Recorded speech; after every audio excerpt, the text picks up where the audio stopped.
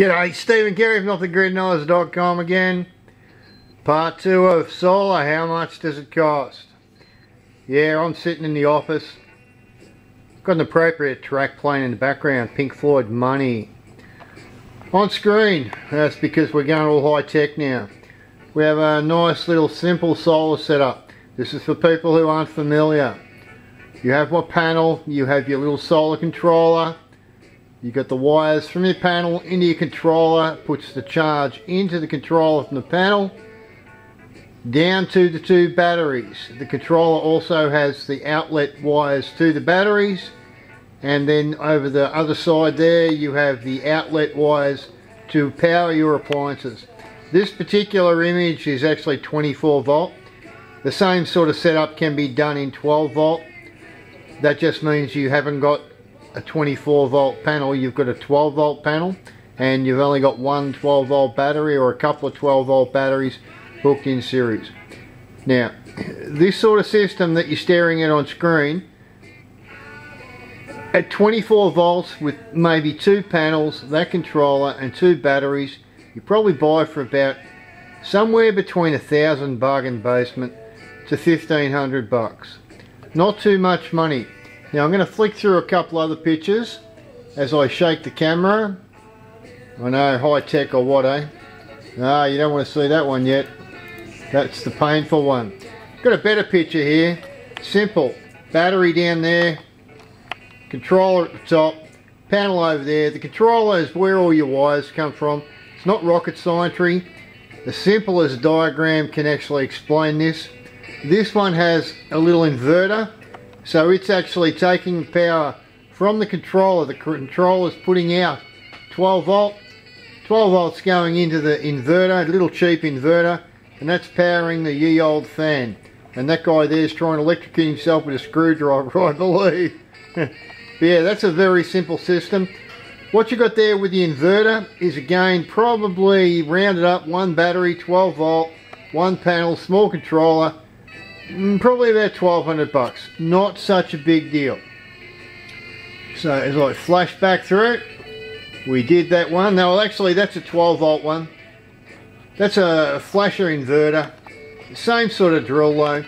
Panel takes the power, pushes it over into the controller. The controller has all the outlet connections down to a battery. The battery puts out 12 volt 12 volt goes into the inverter. From there you plug your fan, your fridge, your microwave. Well, maybe not a microwave on a little system like this, but your computer, your laptop, whatever. All comes from that simple little setup. Again, with that simple little inverter there, probably about the 1500 buck mark. Not too bad at all. Pretty easy to set up, doesn't take a bloody genius. Then you got bigger ones like this fella here. Once you get into systems that are about that big, multiple panels, multiple batteries, what happens with solar is it exponentially gets dearer. One battery costs 200 bucks, six batteries cost 1200 bucks. One panel costs $200, six panels cost 1200 bucks. The inverter, that little fella there, as you go up in charge input and power output, inverters get more expensive. So take note of that before you start wondering about how much you can afford. Every time you add a few watts, that's the watts on the panels, or add a few batteries for storage, you have to upgrade the inverter as well. Everything goes up and it gets a bit dearer. Now I'm going to keep this relatively short. Uh, a picture of a Grid Connect. We won't worry about Grid Connect. Grid Connect is something else. That's where you don't have a battery bank. It just goes straight into the grid. You may or may not be interested in that.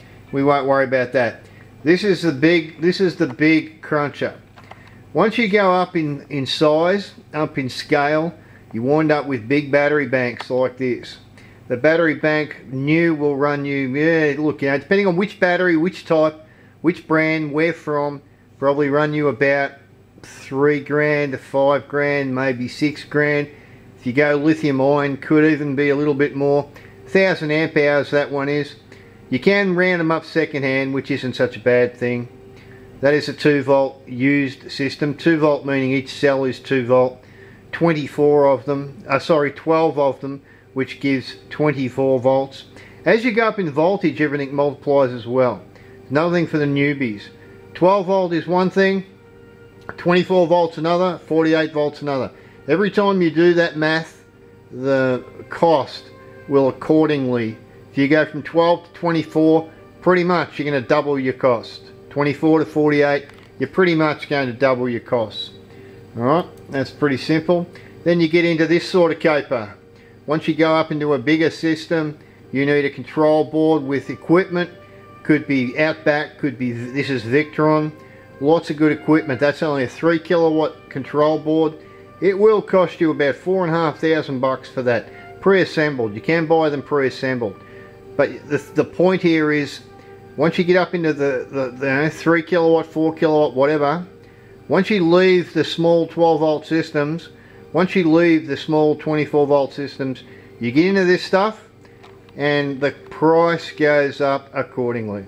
Right? So this is just a quick rundown. Small systems don't cost much. If you need to refresh, just run the video over again. It's only a five minute video. Small systems don't cost. 12 volt is cheap. 24 volt you can do. All low cost components. You might spend within you know 1500 bucks to two and a half grand. You'll get a nice little system that will power your laptop, your phone, probably power your fridge.